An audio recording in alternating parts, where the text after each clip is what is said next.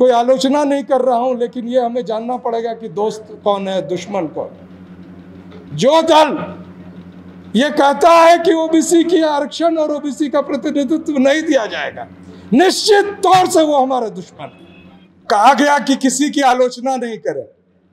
अमृत काल है। मैं केंद्र की सरकार की आलोचना नहीं करना चाहता। लेकिन जनगणना ही रोक दी गई, क्योंकि जाति जनगणना करने की मांग उठी थी। मैं आलोचना नहीं करना चाहता। लेकिन इस देश के प्रधान सेवक ने कहा कि हमारी पार्टी सात अप्रैल से लेकर चौदह अप्रैल तक सामाजिक न्याय सप्ताह बनाएगी। क्या हुआ उस सप्ताह में? सिर्फ़ सामाजिक अन्याय हुआ। मैं उन तमाम लोगों को दोषी मानता हूँ, अगर उस दल के साथ वो खड़े होते हैं। और उस संगठन के साथ खड़े होते हैं, जो इस देश में हिंदुत्व की बात करते हैं, लेकिन मंदिरों में जहाँ राम मंदिर का ट्रस्ट बना तो एक भी एक भी ओबीसी समुदाय का उसमें प्रतिनिधित्व नहीं था।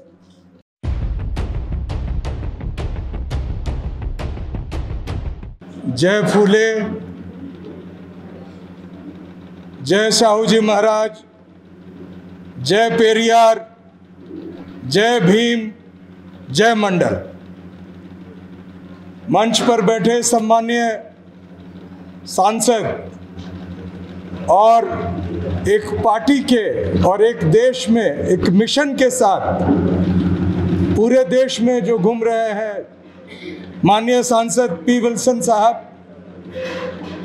माननीय न्यायाधीश, पूर्व न्यायाधीश न्यायमूर्ति वीरेंद्र सिंह यादव जी, इस सभा के अध्यक्ष अध्यक्ष और इस संगठन के अध्यक्ष डॉक्टर राजेंद्र वर्मा जी हमारे प्रिय साथी डॉक्टर रतन लाल जी, इस सभा में के आयोजक में श्री महेंद्र मंडल जी और डॉक्टर साहब जो बैठे हैं और सामने जो उत्तराखंड के अलग अलग समाज से आए, आज की महत्वपूर्ण बैठक में हिस्सा लेने जो आए हैं, उनको मैं पुनः अभिवादन करता हूँ।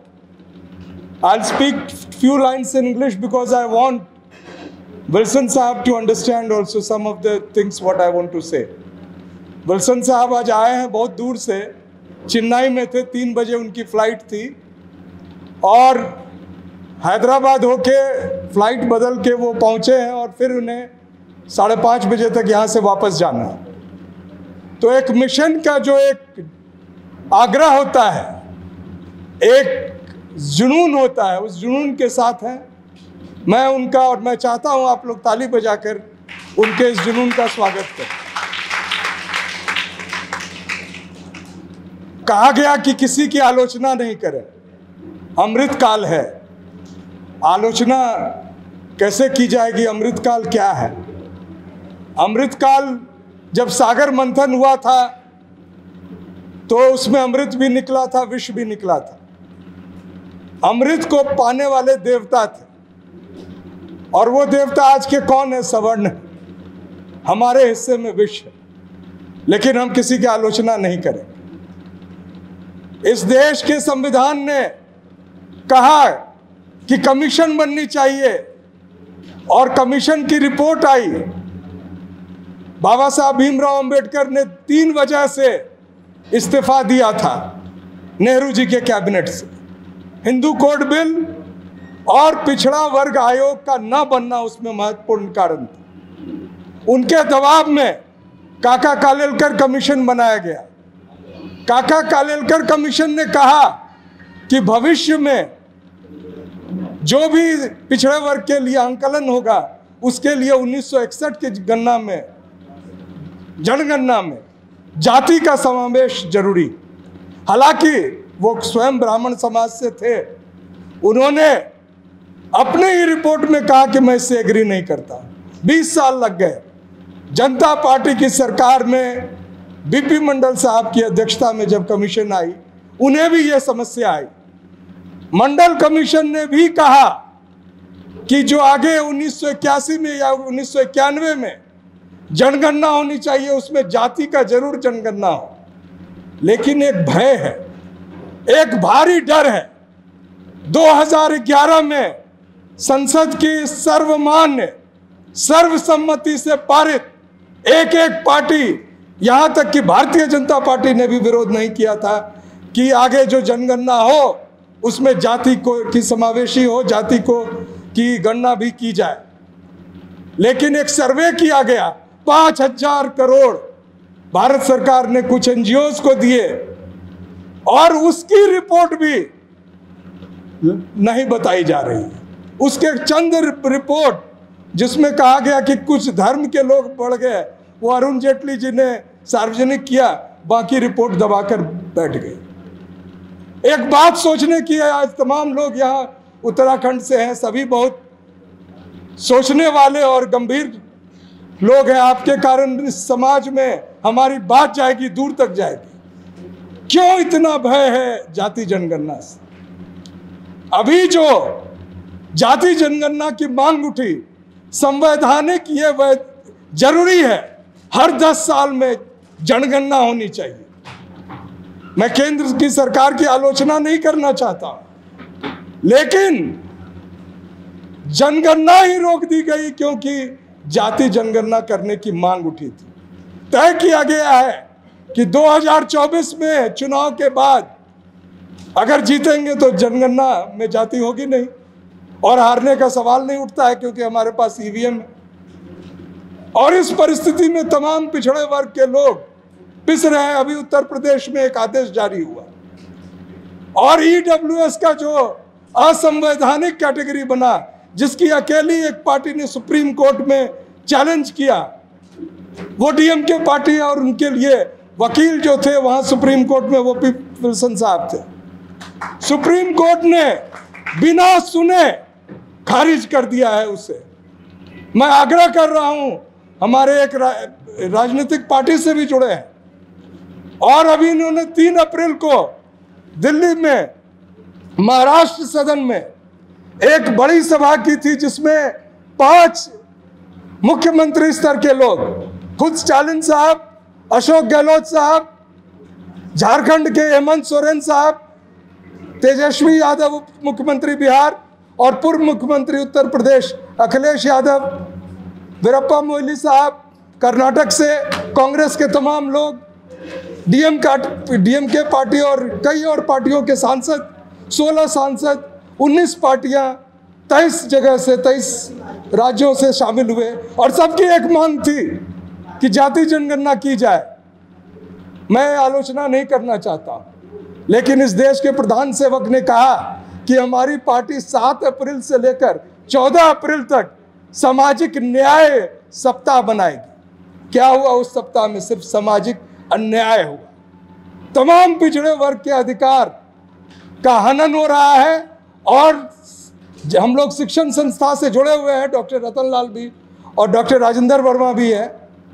हमारे दलित साथी सुसाइड कर रहे हैं। ओबीसी शिक्षक हिंदू कॉलेज जहाँ पढ़ाते हैं रतन लाल जी, नौकरी से निकाले गए और उन्होंने सुसाइड की। सुदर्शन जो आईआईटी में है, थे। दलित समाज के स्कॉलर सुसाइड किया। रोहित वेमुला से आज तक ये सिलसिला चलता आ रहा है। तो ये कब तक हम सहेंगे, मैं, विल्सन साहब को जाना है, लेकिन कुछ ये तो अहम बातें मैं इसलिए आपके साथ शेयर कर रहा हूँ कि यह ज़रूरी है जानना कि संविधान क्यों खतरे में। संवैधानिक प्रावधान, आपने कहा आरक्षण, संविधान में प्रतिनिधित्व की बात कही गई है और प्रतिनिधित्व तब तब तय होगा जब यह पता चलेगा कि किस समाज के कितने लोग हैं। इसको नहीं पता लगने देने के लिए खुद दलितों में, पिछड़ों में आदिवासियों में कि ये तुम्हारा हक खा गया, वो जाति खा गया। अगर जाति जनगणना होगी तो पता चलेगा कि असल में पूरे देश की मलाई किन दो परसेंट लोगों के हाथ में है। सुप्रीम कोर्ट में एक भी ओबीसी जज नहीं। कैबिनेट सेक्रेटरी तथा कथित पिछड़े वर्ग के प्रधान सेवक, उनके यहाँ एक भी ओबीसी अधिकारी नहीं। किसी भी मंत्रालय में सेक्रेटरी स्तर के एक आध दलित ओबीसी से शेड्यूल्ड कास्ट अधिकारी है एक आध एस अधिकारी है, ओबीसी ज़ीरो। जितने अधिक पदे हैं जो प्रभावशाली ढंग से गवर्नर देख ले या कहीं देख ले, सभी जगह से लगभग शून्य है, लगभग शून्य। और हम सामाजिक संगठन, मैं जस्टिस साहब से निवेदन करना चाहता हूँ, चेतना की बात इन्होंने कही, मैं किसी भी दल का कोई आलोचना नहीं कर रहा हूँ, लेकिन ये हमें जानना पड़ेगा कि दोस्त कौन है, दुश्मन कौन है। जो दल ये कहता है कि ओबीसी की आरक्षण और ओबीसी का प्रतिनिधित्व नहीं दिया जाएगा, निश्चित तौर से वो हमारा दुश्मन मैं सिर्फ़ आलोचना की बात नहीं कर रहा हूँ, मैं उन तमाम लोगों को दोषी मानता हूँ, अगर उस दल के साथ वो खड़े होते हैं, और उस संगठन के साथ खड़े होते हैं जो इस देश में हिंदुत्व की बात करते हैं, लेकिन मंदिरों में जहाँ राम मंदिर का ट्रस्ट बना तो एक भी एक भी ओबीसी समुदाय का उसमें प्रतिनिधित्व नहीं था। तो आप समझें कि हमें किस तरह से आगे बढ़ना होगा। मंडल कमीशन में कहा गया है कि there cannot be equality among unequals असमान लोगों के बीच में समानता की बात करना बेईमानी है। और इसके लिए जाति जनगणना बहुत आवश्यक है। बिहार में जाति सर्वे शुरू हुआ हाई कोर्ट ने उसको निरस्त कर दिया। हाई कोर्ट और सुप्रीम कोर्ट, बी टीम की तरह काम कर रही है। किसकी बी टीम आप समझ रहे हो जो स्वयं नहीं लागू करते हैं, उनके माध्यम से करवाते हैं। अब बताइए, संविधान में सर वकील हैं, यहाँ बैठे हुए हैं, बहुत सीनियर एडवोकेट है। प्रावधान किया गया कि ओबीसी जातियों को पहचानने के लिए कमीशन बनेगी। सर्वे होगा। और अगर वो सर्वे पार्लियामेंट से पास करके संवैधानिक प्रावधानों के तहत किया जाता है तो हाईकोर्ट क्या कहती है कि इससे निजता का हनन होगा। जब आपके धर्म का पता चलता है तो आपकी निजता का हनन नहीं होता है।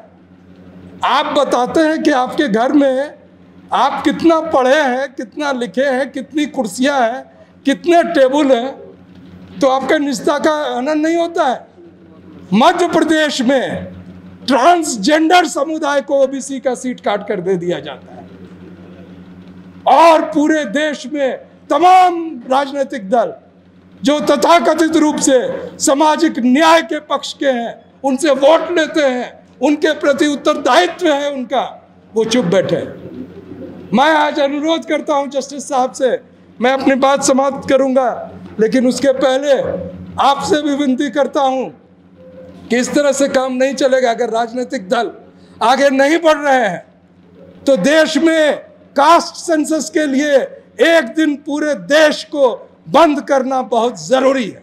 अगर आप सहमत हैं तो ज़रूर मेरे साथ ये आग्रह पी विल्सन साहब और जस्टिस साहब से करें। मैं इन्हीं की बातों के साथ अपने तमाम जो हमारे लोग हैं, जो हमारे नेता थे, सभी को मैं नमन करते हुए उत्तराखंड में आया हूँ।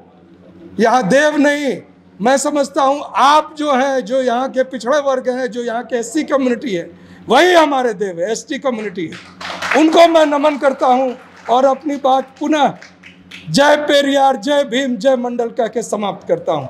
नमस्कार।